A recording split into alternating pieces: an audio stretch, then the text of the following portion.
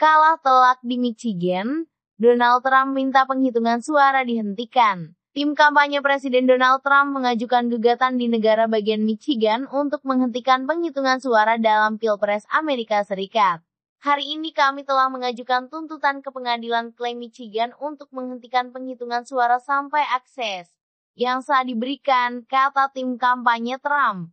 Kami juga meminta peninjauan ulang surat suara yang dibuka dan dihitung saat kami tidak memiliki akses yang sah kata tim presiden petahana dari Partai Republik itu.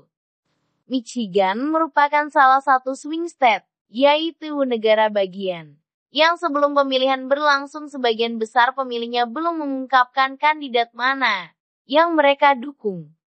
Sementara itu, dari data terkini sajian live di Guardian, yang didasarkan pada data perhitungan suara The Associate Press AP pada Rabu siang waktu setempat atau Kamis WIB pagi ini, Joe Biden dilaporkan memperoleh 264 suara electoral vote kemenangan di negara bagian Wisconsin dan Michigan.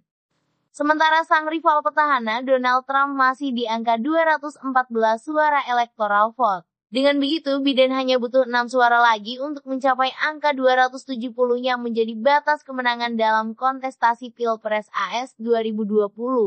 Yang menarik, kemenangan di Wisconsin dan Michigan ini menjadi pembalikan kekuatan oleh kubu Partai Demokrat atas Partai Republik. Artinya, wilayah yang di Pilpres terdahulu menjadi basis suaranya Republik, ternyata kini bisa dimenangi Demokrat. Sebelumnya, Rabu sekitar pukul 14.30 WIB, Joe Biden juga tercatat unggul di Arizona.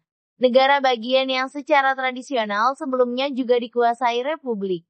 Ini menjadi flip pengambil alihan kekuatan pertama dalam pengumpulan suara Pilpres AS kali ini yang sejauh ini baru bisa dilakukan Demokrat. Dengan perkiraan jumlah penghitungan suara yang perlahan terus bertambah, kemungkinan dalam waktu dekat wilayah-wilayah seperti Georgia dan North Carolina, yang sementara ini memperlihatkan Trump unggul juga diyakini bakal segera diumumkan.